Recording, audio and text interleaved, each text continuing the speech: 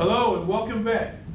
And today we're going to talk about using periodic properties to find exact values.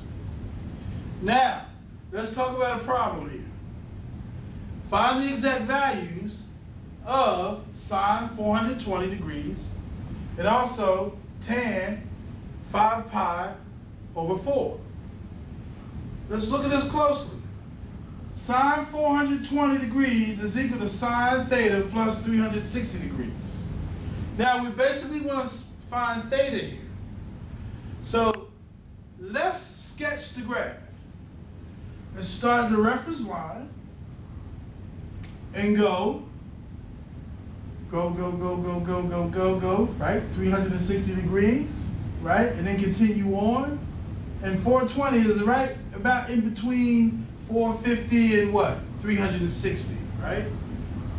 So, here we have what?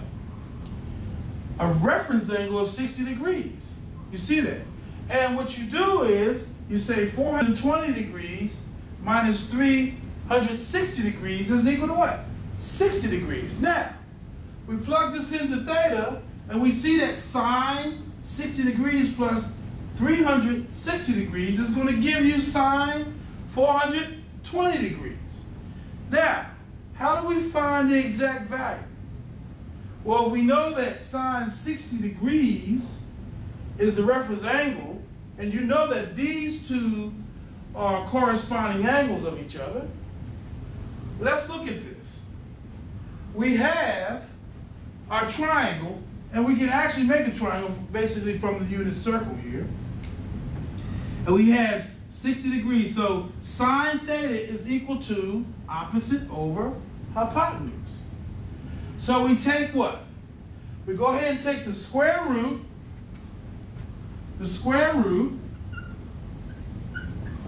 of 3 over 2 because it's the opposite over hypotenuse. You see that? So this is our value. So sine, in this case, sine Theta is sine 60, which is going to equal to the square root of 3 over 2, just like we have over here. So actually, sine 420 degrees is basically the same as sine 60 degrees and corresponding to one another, which will give you the same exact what? Corresponding value or exact value of the square root of 3 over 2. Let's do another problem.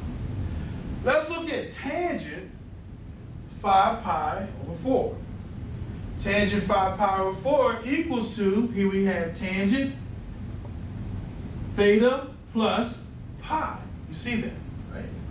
So what we want to do is we also want to do a sketch of the graph. So we start here and we go, we go, we go 180, right? Or, and we keep going. That's going to be about what? 5 pi over 4. Now, the reference angle here is calculated, right? And the reference angle that we have, when we say 5 pi over 4 minus pi, is going to give you pi over 4, which is about what? 45 degrees in degrees, right? Pi over 4 is a radians, 45 degrees in degrees, right? So tan is opposite over adjacent. So here's the triangle being sketched.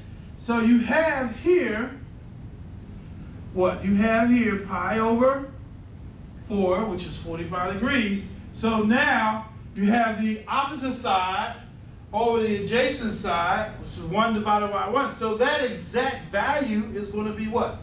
1. So tan, tan, 5 pi over 4 is the same as what? Tan pi over 4. So tan 5 pi over 4, again, is the same as tangent pi over 4, which is going to give you a value, the exact value of what? 1. This concludes the video of talking about using periodic properties to find the exact value.